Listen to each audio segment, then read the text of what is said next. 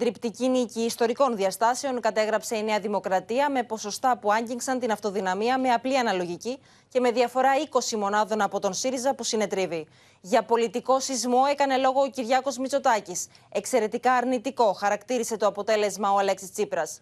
Ο Κυριάκος Μητσοτάκη μετέβη νωρίτερα σήμερα στο Προεδρικό Μέγαρο και έλαβε τη διερευνητική εντολή από την Πρόεδρο της Δημοκρατίας Κατερίνα Σακελαροπούλου. Ο Πρωθυπουργός επικοινώνησε και με τους πολιτικούς αρχηγούς. Τις λεπτομέρειες για τις τελευταίες εξελίξεις έχει η Σοφία Φασουλάκη. Σοφία.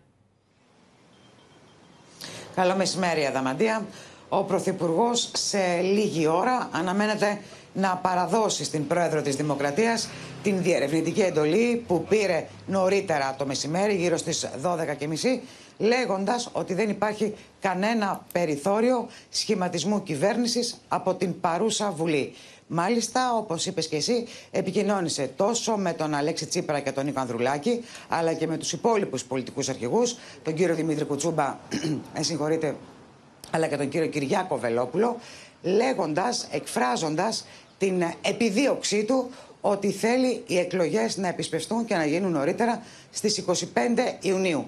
Η Νέα Δημοκρατία και η κυβέρνηση Αδαμαντία πιστεύει και το λέει, το είπε άλλωστε και ο Πρωθυπουργός στο σύντομο διάλογο που είχε με την Κατερίνα Σεκλαροπούλου, ότι εάν αυτές οι εκλογές διεξάγονταν με το σύστημα της ενισχυμένης αναλογικής, η Νέα Δημοκρατία θα είχε από 170 έως 172 έδρες.